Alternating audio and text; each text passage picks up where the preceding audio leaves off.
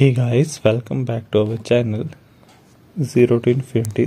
Guys if you getting same problem that i have getting macuin.exe entry point not found.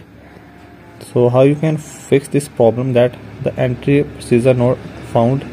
So located in the dynamic link library i have faced similar problem. So today i will tell you how you i fix this problem.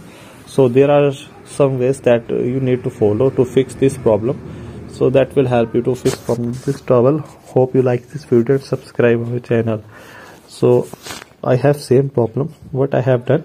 I have installed the mcafee mca fwe app on my device. And this app creating the problem for me. So if you are already installed this app and make sure if you don't use this app uninstall it with revo after uninstalling this app with revo my problem will solve and i can easily use this app.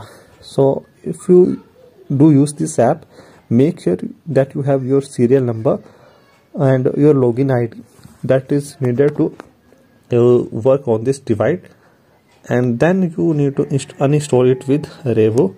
Restart your com uh, pc computer whatever you are using. And then this will help you to fix this problem.